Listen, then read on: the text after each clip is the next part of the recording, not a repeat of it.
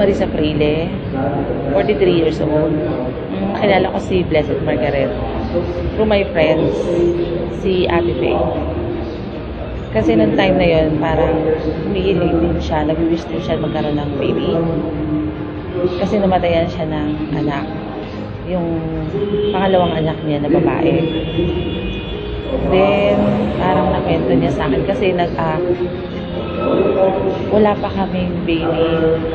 13 years na kami nagsasama ng husband ko pero wala pa kami, hindi pa kami nabibigyan ng anak. So, nung nakwento niya sa akin na ang yung lahat-lahat ng ginawa niya, nagpa-check sa doktor, nag ah, silang mag-asawa.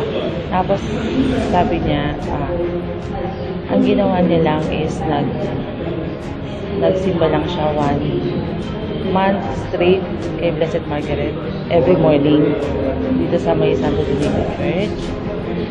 Sinabi lang niya sa akin na ganun lang yung ginawa niya. And then, humihiling lang siya na pagdalawan ulit siya ng, ng baby. Tapos biniyayaan siya ni Blessed Margaret na nabuntis agad siya. Anong time na yon Nung time na sinabi niya sa akin yun, buntis na siya, parang manganganak na yata siya.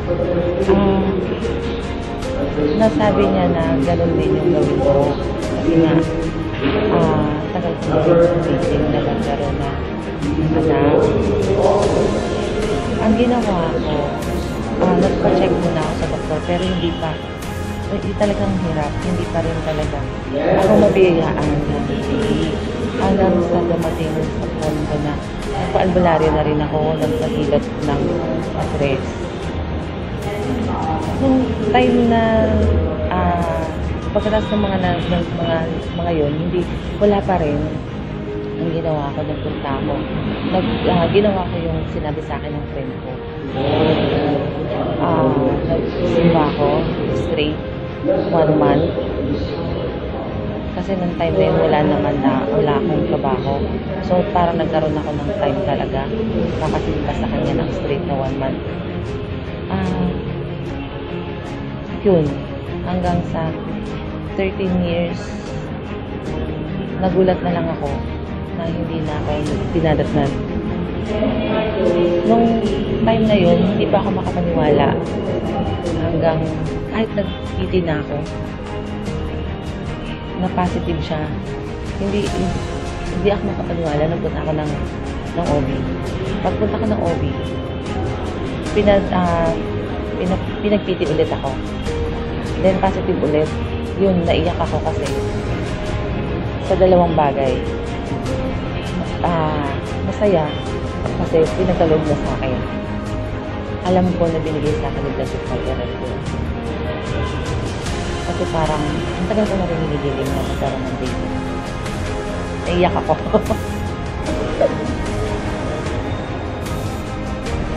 Salamat sa kanya.